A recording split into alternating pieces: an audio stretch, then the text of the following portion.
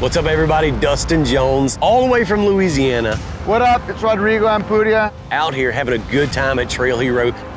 They got a great mixture of sand, rocks.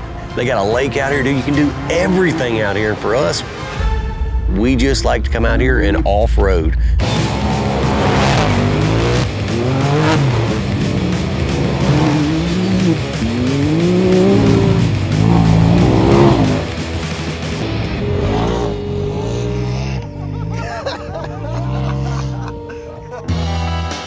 So the maze is one of my favorite trails to go take people for their first time out here, and it is super sketchy out there. I think I'm just gonna take the other line and watch these guys do it. Yeah, I'm definitely not a rock crawling guy, but you kind of see where the lines are and you just kind of go challenge yourself and have a good time. If you do fall back down, I don't think you'll crash. So what's the worst case scenario? I missed the shot. I'm gonna have to get that. Man, what's cool is it brings a lot of the monster guys out here. You can always cross paths with Casey Currie out here. This is his playground.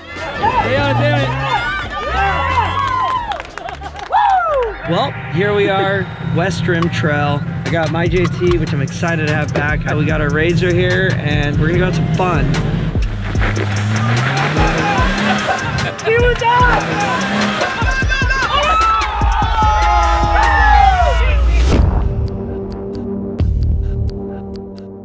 Today is my first day out in the dunes, and uh, we've been ripping around with Dustin Jones all day, and I found a sweet jump, and we're gonna go hit it right now and see how he does.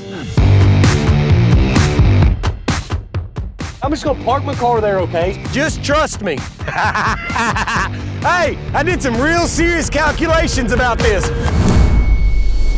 oh, bro, if he hits my car. Oh, yes, sir. Yes, sir.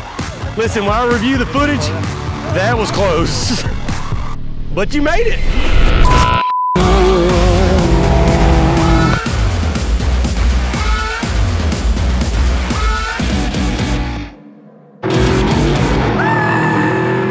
I think I'm bleeding from that. Oh my God. Oh man.